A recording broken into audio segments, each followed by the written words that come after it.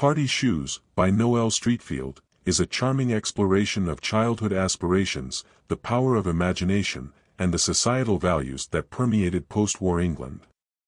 The novel, set in the aftermath of World War II, captures the innocence of youth against the backdrop of a world slowly recovering from the devastation of conflict.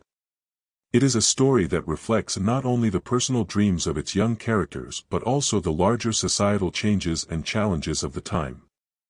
The narrative revolves around Selina, a young girl who receives a gift from her godmother, a pair of beautiful party shoes. These shoes, however, become a symbol of a lost world, one where parties, dances, and social gatherings were commonplace, but now seem like a distant memory in the war-torn reality of post-war Britain. The gift sparks a longing in Selina to wear the shoes at a grand event, a longing that sets the entire plot in motion. Streatfeild's depiction of Selina's desire to use the shoes highlights the contrast between the pre-war and post-war eras. The shoes are not just a piece of fashion, they represent a connection to a past that was more carefree and socially vibrant. Selina's longing to wear them at a party is a poignant reflection of the collective yearning for normalcy and celebration in a time when such luxuries were rare.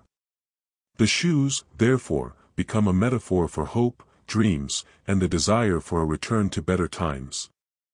The children's plan to stage a play in order to create an occasion for Selina to wear the shoes underscores their creativity and resilience. In a world where adults are preoccupied with rebuilding and recovering, the children take matters into their own hands, showing an impressive degree of agency. The play, which they produce with great effort and enthusiasm, becomes a microcosm of the larger world, they create a society within the play that reflects their own desires, conflicts, and aspirations. Streatfeild's writing delves into the psychology of her young characters with sensitivity and depth. Each child in the story is given a distinct personality, and their interactions reveal much about the social dynamics of the time. The emphasis on cooperation, creativity, and the importance of community reflects the values that were crucial in the post-war recovery period. The children's play is not just a personal project, it is a communal effort that brings together different personalities and talents, mirroring the larger societal need for unity and collaboration. The novel also subtly addresses issues of class and social change. The world the children create in their play is an idealized version of society, one where everyone has a role to play and where social hierarchies are less rigid.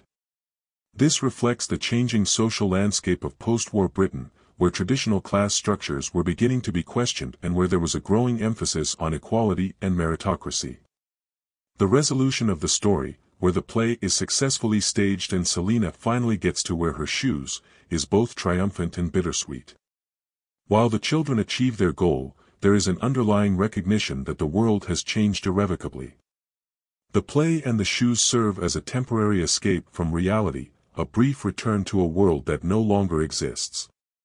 However, in achieving their goal, the children also learn important lessons about the realities of life, the importance of perseverance, and the power of imagination. Party Shoes is a novel that, while centered on the seemingly simple desire of a young girl to wear a pair of shoes, offers a profound commentary on the post-war experience.